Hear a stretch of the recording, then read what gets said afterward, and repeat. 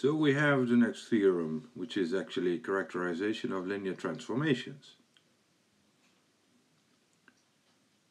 A mapping from T to uh, uh, from Rm to Rn is a linear transformation if and only if we have two properties.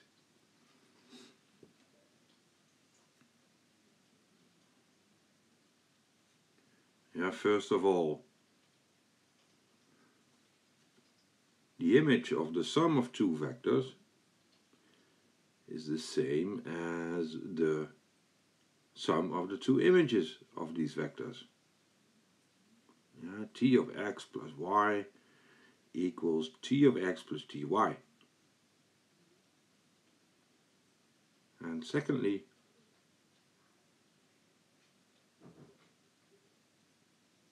the image of k times a vector x is k times the image of x. So k times t of x. So how can we use this, this theorem? Well, we exploit it in the following sense. For example, suppose that we know for a certain linear transformation that it maps the vector 3, 0 onto 6, 3 and that the image of 6, 2 equals a vector 10, 8. So we may conclude that actually T is a mapping from R2 to R2. So now determine the matrix A such that T of x is A times x. If T is linear, suppose it's a linear transformation, then the solution is as follows. We know that 6, 3 equals the t of 3, 0. But the T of 3, 0 is the T of 3 times 1, 0.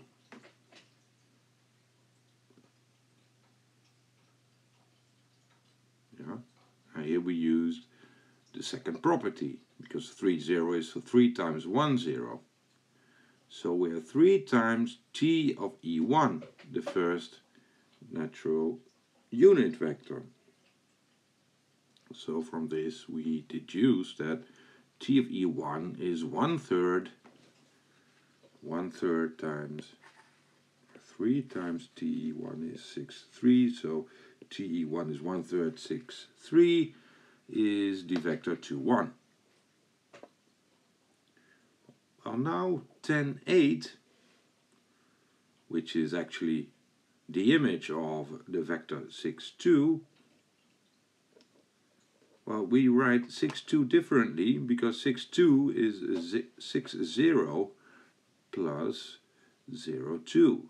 So we use property 1 in order to conclude that t of 6, 2 equals t of 6, 0 plus t of 0, 2.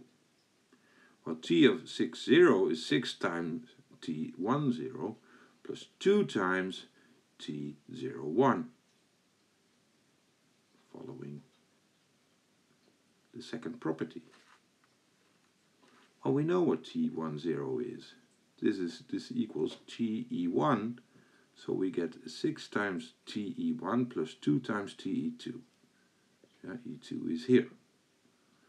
So, which means that 2TE2 equals 10, 8 minus 6 times TE1.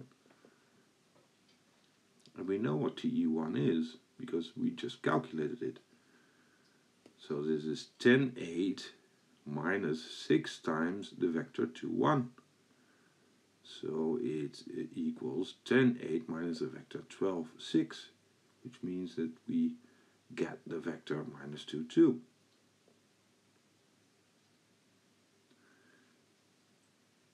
So we may conclude that actually we can also calculate TE2. TE2 is half times minus 2, 2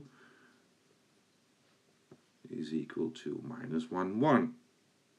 So the conclusion is that the matrix for this linear transformation consists of two columns TE1 and TE2, TE1 being equal to 2, 1 and TE2 being equal to minus 1, 1. So we get a matrix for this transformation equal to 2, 1, minus 1, 1.